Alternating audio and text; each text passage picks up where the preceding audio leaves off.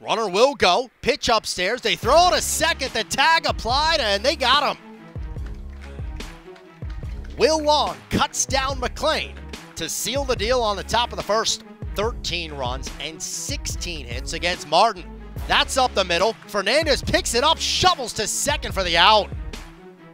Really nice play by the Martin shortstop. Barnsgard comes in to score. Tennessee Tech takes the lead.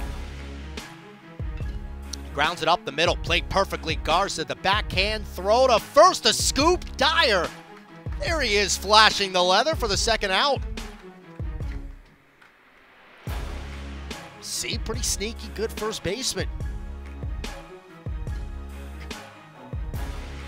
Gardino bounces back, he gets his strikeout. Will Long will complete the transaction. And the second inning comes to a close.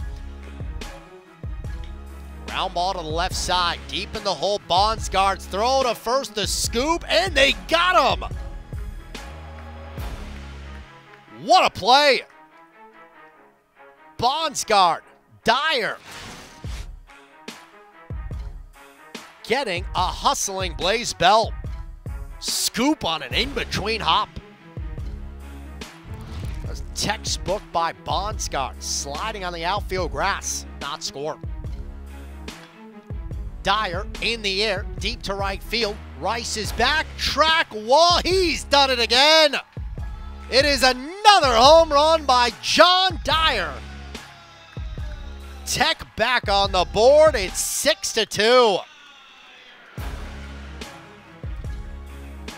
Now a nine game hitting streak for John Dyer. UT Martin scored six unanswered before the Dyer home run. Ground ball to short. Bondsgaard throws out Bell for the second out.